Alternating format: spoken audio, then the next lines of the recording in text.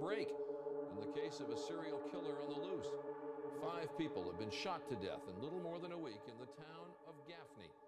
ABC's Jeffrey Kofman is there.